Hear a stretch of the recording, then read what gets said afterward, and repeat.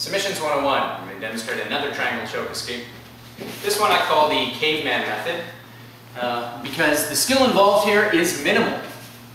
So what I'm going to do is, you see this in a lot of MMA matches. Uh, most guys will get in and they'll test this one. If they're very strong, they're wrestlers or whatever, they'll be here, they'll stand up, and then they'll jerk and pull their hands out.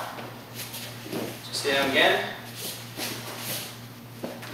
So he's got the triangle on, get the hands together, up, up, and you're going to be pumping. It's not one continuous movement. It's bang, bang, bang, standing up, up and down. It's very important. So I'll do it one more time. I'm here, stand, jerking and pulling up.